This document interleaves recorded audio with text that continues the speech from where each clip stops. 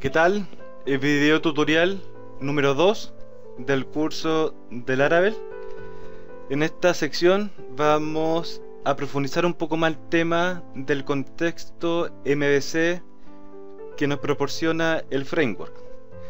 Eh, dentro de los ejemplos para este módulo eh, tenemos desarrollado incluso se explica y se detalla en el documento PDF, pero la idea es poder presentarlo de forma más interactiva en este tutorial. Eh, si bien podríamos usar cualquier tipo de, de interfaz de desarrollo o IDE, yo particularmente me acomoda más usar NetBeans, ya que NetBeans eh, eh, nos entrega una versión exclusivamente para trabajar con proyectos PHP. Ahora sin duda también pueden usar el blog de nota o, not, o Notepad o más más. En fin, también pueden usar Eclipse, hay varios más. Incluso hasta Dreamweaver. Bien, para partir un poco, acá tenemos el, el ID en NetBeans. Entonces la idea, bueno, es descargar el, el proyecto que tenemos de la semana y lo pueden dejar en cualquier directorio. Luego vamos a con botón derecho Open Project, abrir proyecto y en el lugar donde lo descargaron y lo descomprimieron, simplemente lo podemos abrir. Entonces ya tenemos acá en nuestro Eclipse, en nuestro NetBeans y nuestro proyecto. Acá la idea es ver un poco el MVC. Yo ya, yo ya creo y me imagino que muchos saben de qué se trata el patrón de arquitectura modelo vista controlador. Para repasar un poco, el MVC lo que intenta es ordenar y estructurar nuestros proyectos en tres distintas capas o roles. Cada rol, cada capa va a tener una tarea particular. Y tenemos el modelo, que es el M, y tenemos la vista, que es el V, y también se le conoce como plantillas o presentación, es donde se muestran los datos de nuestra aplicación. En la interfaz de usuario, en la gráfica que le vamos a dar con estilos, principalmente con HTML5 y CSS3 y finalmente, y finalmente tenemos el controlador, el controller. El controlador, pensemos como un operador de llamadas, el cual recibe esas llamadas y va a redirigir esas llamadas a, diferentes lugares. Es decir, va a llegar una llamada, una petición, un request del usuario a través de nuestra aplicación, ya sea un formulario o a través de, de parámetros get una URL. Vamos a capturar esos datos y dependiendo de lo que necesitemos realizar, vamos a redirigir esos datos o pasárselo al modelo. Y por ejemplo, obtenemos, capturamos datos de un formulario y se lo pasamos al modelo que se conecta a una base de datos, accede, ¿no es cierto?, de una forma a la conexión y va a almacenar esos datos en nuestra base de datos. O bien podría recibir un nombre, un parámetro, un nombre, un identificador, un ID, o eh, en el fondo para buscar por un, eh, por un dato. Entonces le pasa al modelo ese ID y el modelo va a buscar en la base de datos un registro que coincida con ese parámetros, ya sea ID, nombre, código, etcétera, y que va a regresar de vuelta al controlador el registro que va a ser a través de un objeto, con, toda, con todos esos datos que nosotros queríamos consultar. ¿ya? Posteriormente esos datos se los pasamos a la vista para que lo despliegue y lo muestre de regreso al usuario. Entonces es una comunicación entre las diferentes capas, está bien separado los roles, por lo tanto un cambio en el modelo no implica necesariamente tener que modificar la vista, salvo que agreguemos un nuevo campo y ese nuevo campo queremos también que se actualice en la vista, pero son, son cosas de ese, ese punto. Pero si vamos a modificar una consulta más nivel de optimización de lógica de negocio, no, no tiene por qué interferir ni en el controlador ni tampoco en la vista. Y ni viceversa, si modificamos la vista, el diseño, mucho menos va a tener que ver con la lógica de negocio, con el modelo. Bien.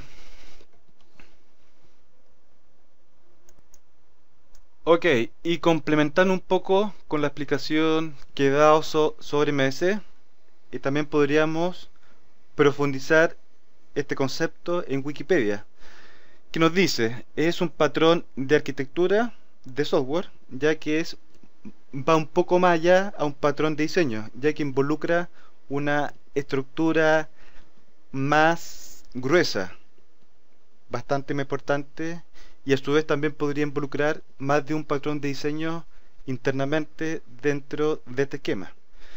Entonces separa los datos y la lógica de negocio de una aplicación de la interfaz de usuario, es decir, de la presentación, y el módulo encargado de gestionar los eventos y la comunicación.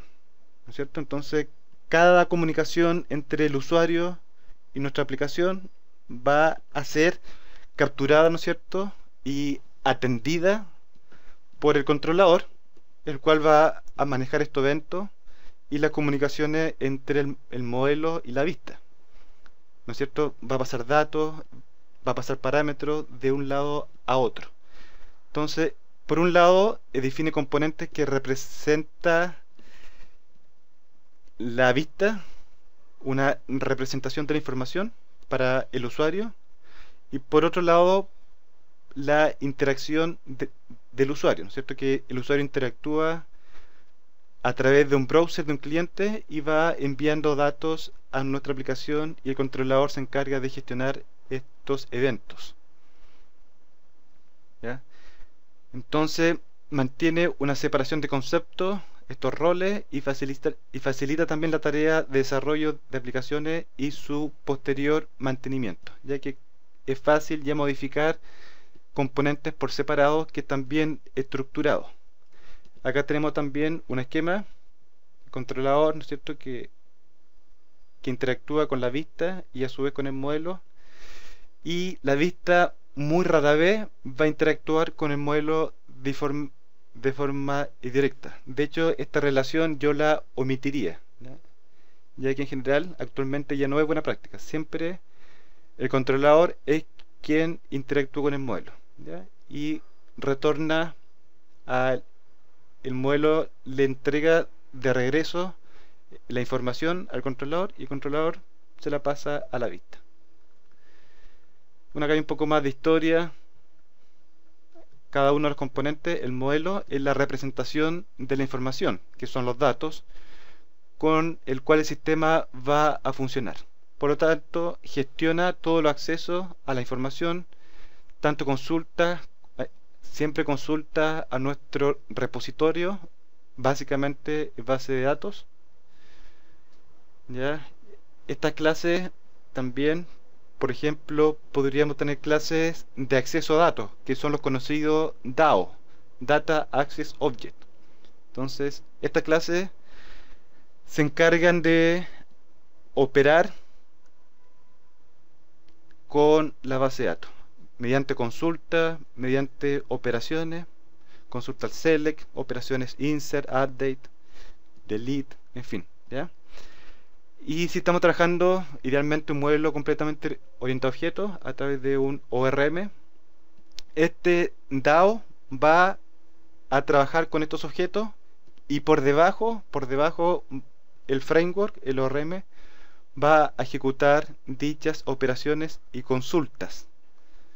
Es un tema que también que vamos a ver después en base a datos utilizando el ORM que nos proporciona el Laravel.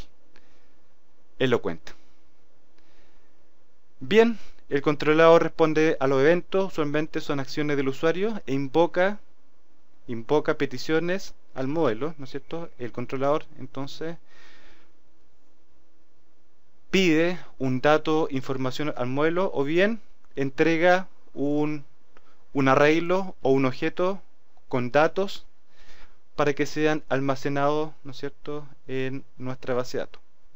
y todo esto siempre ejecutado por el modelo, que es quien accede a los datos. Cuando se hace alguna solicitud sobre la información, por ejemplo, editar un documento o un registro en una base de datos, justamente lo que estamos hablando. Eh, también puede enviar comandos a su vista asociada si se solicita un cambio en la forma en que se representa de modelo, por ejemplo, desplazamiento de un scroll por un, documento, en fin. Y la vista es la presentación.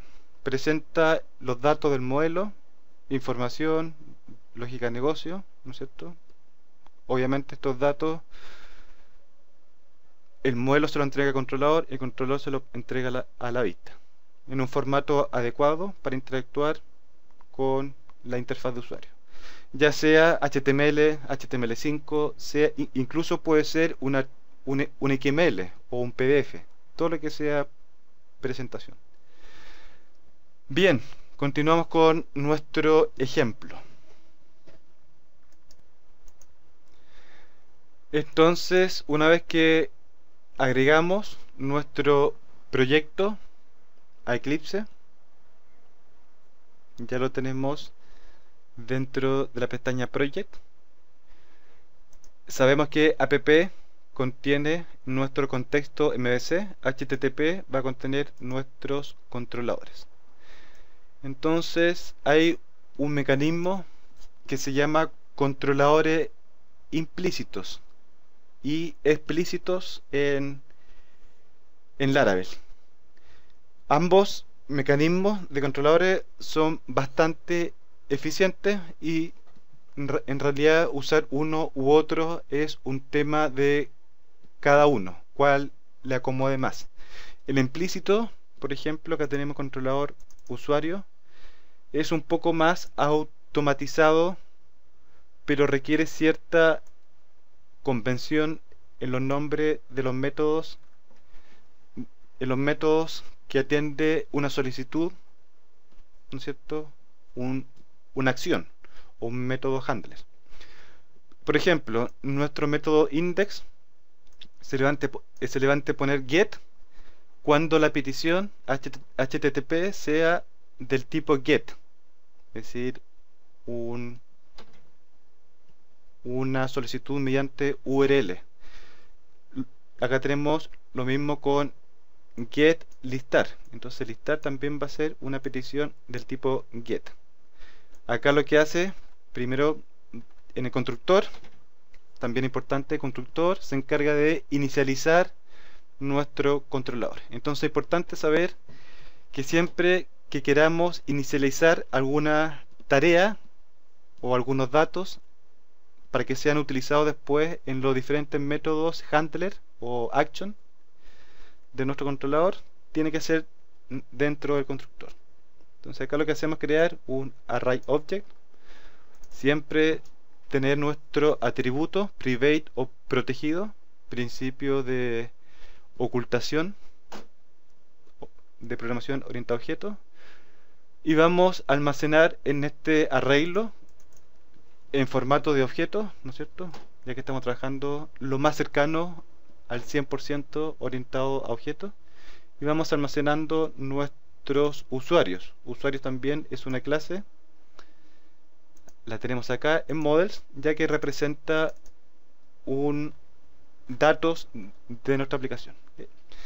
Posteriormente, o en un escenario con base de datos, la clase usuario va a estar y va a representar datos de un registro, de una consulta a una tabla.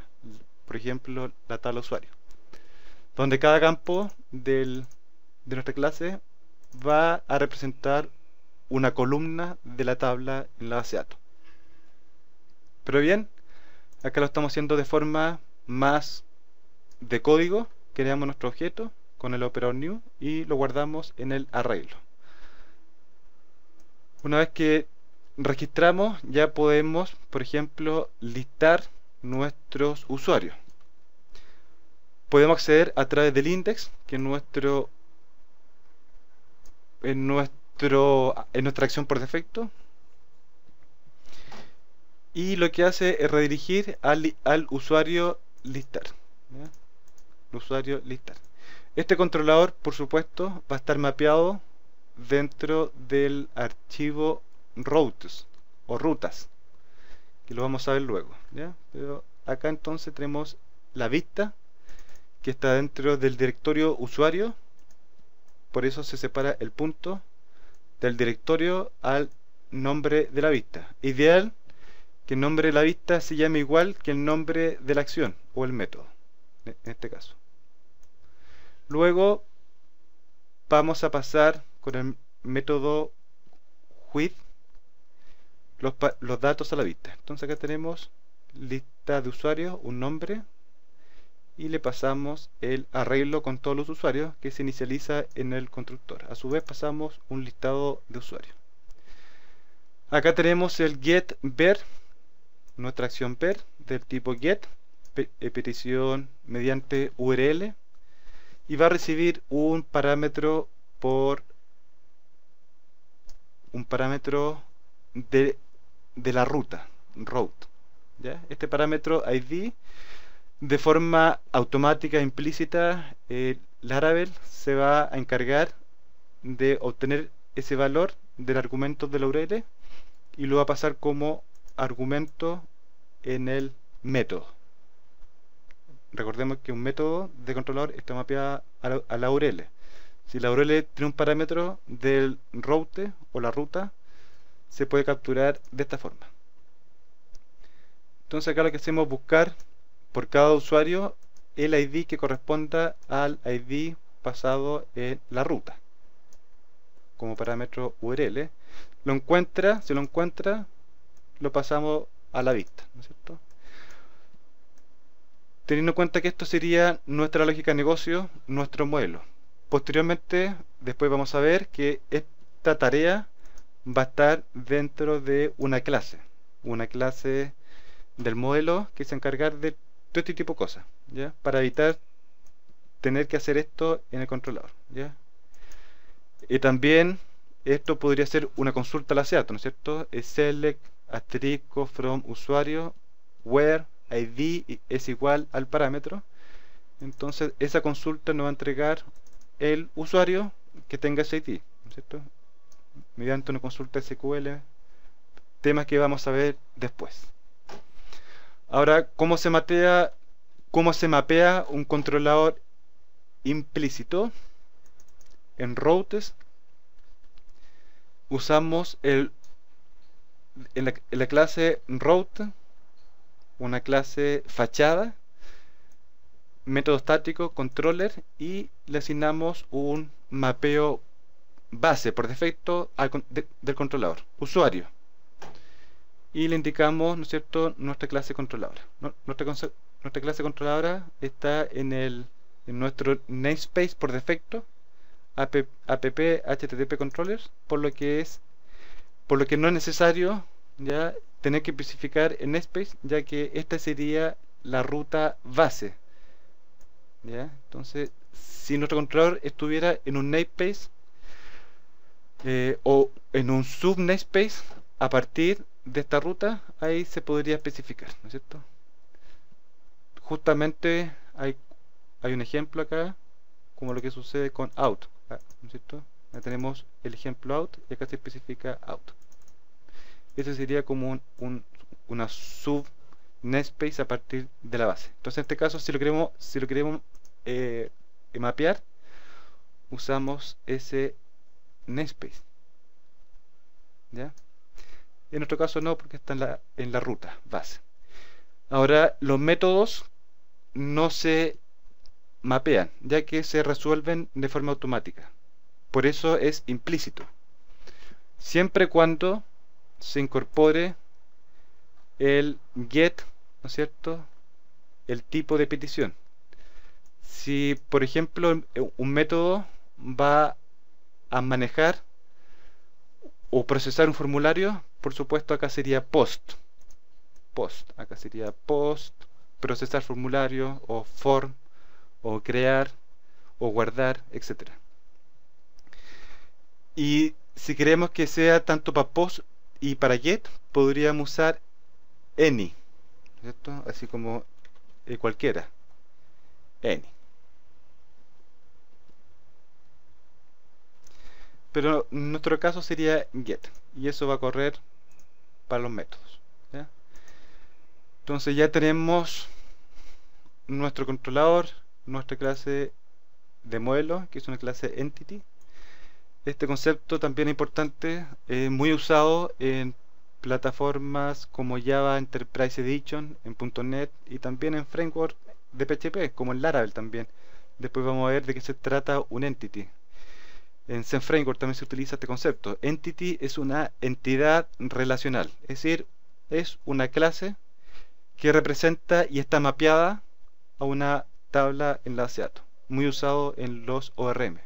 Acá, si bien todavía no hemos entrado en los ORM, y tampoco esta, este, esta clase de usuario tampoco no está mapeada por eh, por el, momento a ningún tipo de base de datos ni tabla, pero sí es bueno mantener este esquema, este concepto, ya que usuario es un dato, es un registro de nuestro sistema independientemente si es una base de datos o si son datos que nosotros creamos en nuestro controlador.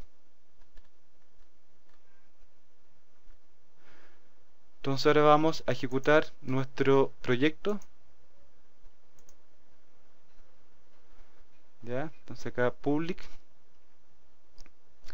Ah, obviamente tenemos que tener nuestro proyecto en el, en el httdocs entonces si, si copiaron por ejemplo el, el, proyecto a un directorio que no es el httdocs sería bueno ¿no es cierto? copiar o mover ese proyecto en el httdocs o bien podríamos copiar los proyectos directamente al httdocs y de ahí abrirlos con, con NetBeans. También es bastante más, es mucho más fácil. Bien, ahí lo tengo copiado. Ahí está, ¿no es cierto? Nuestro ejemplo. Eh, si vemos el, el mapping, importante, el router, vamos a hacer, vamos a invocar usuario, tal cual acá, siempre en public, ya que en public en la puerta de entrada está el index que accede y ahí tenemos, ¿no cierto?, nuestro listado de usuarios. Si se fijan, al poner usuarios de forma automática va a resolver que el index y, y, funciona de esta forma en un controlador implícito. El index siempre va a ser nuestro método de acción por defecto. Siempre. Entonces, si no se especifica el método, va a invocar el index. ¿Y qué es lo que hace el index? El index lo que hace redirigir al listar. Entonces usa la función helper, ¿no es cierto? Que es propia del, del proporcionada por el framework. Y acá por argumento especificamos nuestra URL, usuario listar entonces automáticamente no, eh, no redirige al listar. Por supuesto que el get en la URL se omite, ya se omite. Acá no va el get, pero sí va en el nombre del método, que es para especificar el tipo de petición que va a manejar este método. Si se fijan, post, si cambiamos acá a post y guardamos, nos va a mostrar un error. ¿no es cierto? Em, ah, bueno, hay que modificar el post que está en el el post que está en el htdocs entonces lo voy a hacer de forma manual para que lo vean ahora por lo mismo ideal acá voy a usar el notepad esto es ideal para no tener que replicar los cambios es directamente de NetBeans abrir el proyecto que tengamos en el htdocs post. Entonces ahora sí.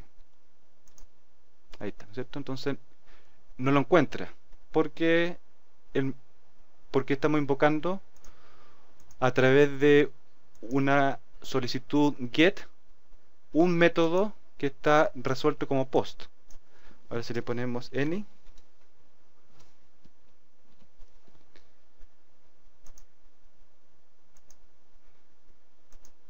Ahí sí, ¿se fijan?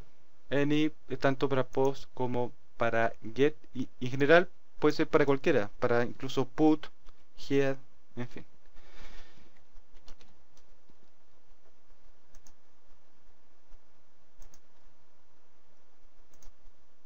ahí está. Y acá el argumento de la URL los parámetros URL pero del tipo route eh, del tipo ruta son parámetros de la ruta que son pasados por slash. Acá le pasamos el 2 entonces este parámetro 2 de forma automática se va a capturar acá y lo vamos a obtener. Se pasa por argumento.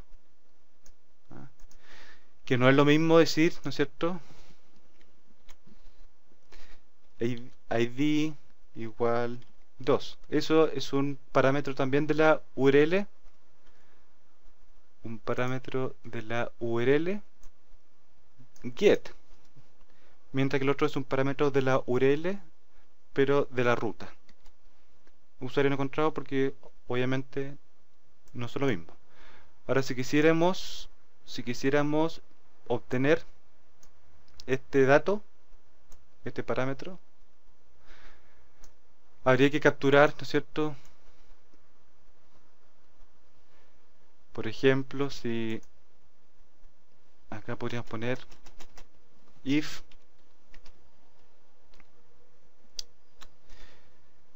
por ejemplo if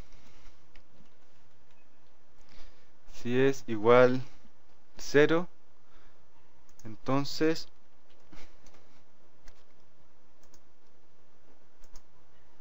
el, el ID va a ser igual a request input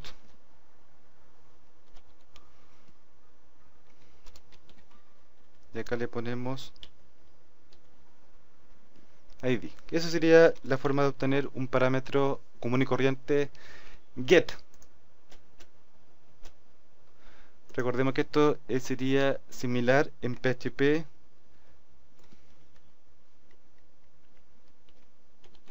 ¿cierto? Eso.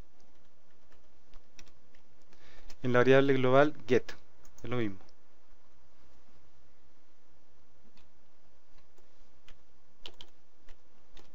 Pero obviamente acá estamos usando Laravel y su forma orientada a objeto. Re request. Y si guardamos va a lanzar un error porque no encuentra la clase request. Entonces hay que importarla. Entonces simplemente use request. Así de simple. Use request ya que está en, en el root o en la base de las clases de, de Laravel ya que es una clase del tipo fachada fascade que, son acceso directo a la, a la clase HTTP, HTTP request, ¿no es cierto?, del árabe. Pero esta es la forma em, guardamos y ahí está, ¿cierto? Accede a través, ¿no es cierto?, del parámetro get. O bien también del parámetro de la URL, porque estamos manejando ambos. Ya que uno a través de, de la ruta y en caso de que sea cero, preguntan por si estuvieran eh, en el request, ¿no es cierto? Entonces ahí está. Otra forma también es es eh, inyectar inyectar el, el request dentro del método. Por ejemplo acá tenemos esto ya sería otra forma. Request id perdón. Request bueno entre java y php hay veces que se me olvida el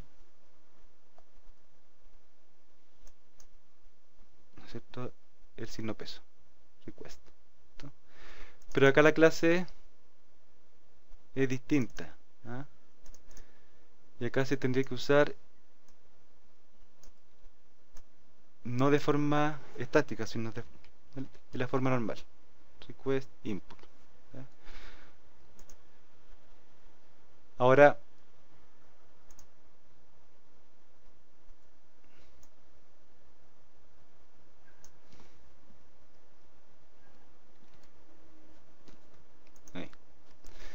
Ahora es distinto, no es el mismo objeto request del facade, ¿no es cierto? o la fachada. Ahí tenemos que usar otra clase, el request, que sería la implementación. implementación. Pero si revisamos los materiales, se explica bien este tema. Entonces, acá en vez de usar el, la fachada, usamos la clase HTTP request, que la implementación. En realidad, la clase Facade accede de forma estática a esta clase. Y acá estamos usando de forma directa esta clase. Y acá la estamos inyectando. Entonces ahora sí que va a funcionar. Ahí está. Entonces son diferentes formas. ¿Cuál es mejor? ¿Cuál es más conveniente? Son todas, son todas distintas, pero al final llegan a lo mismo. Diferentes caminos para llegar a Roma. ¿ya? Son, son todas buenas.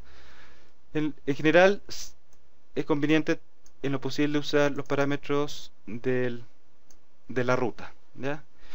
Estos, estos no son mapeados ya que son implícitos, se, se resuelven de forma automática. fijan? Acá tendríamos la forma, por ejemplo acá voy a comentar, acá tenemos la forma explícita, que acá yo de forma explícita digo cuál es el método y mi controlador, el método y el parámetro. Acá estamos en la forma explícita. Y la forma explícita es automatizada. Si comento y descomento el otro, va a funcionar igual. ¿Te fijan? Igual y también ver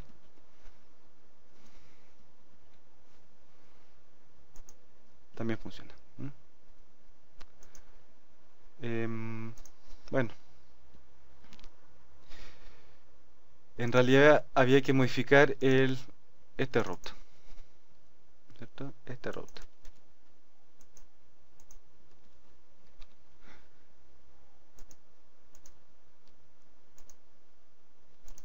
Ups, acá el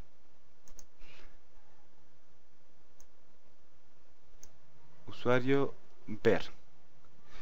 Eh, claro en este caso hay que poner get ver ya que es explícito. Ahí está, ¿se fijan? entonces hay que tener cuidado con las sutilezas que tiene cada uno. Bien ahora vamos a dejar como estaba. Vamos a comentar estamos ok. Bueno espero que haya quedado claro este este recorrido del contexto MS bueno hay mucho más todavía Así que tienen mucho que leer el PDF y estudiar este ejercicio y resolver la tarea que se va a publicar. Bien, les habló el profesor del curso Andrés Guzmán. Cualquier duda a los foros. Hasta la próxima.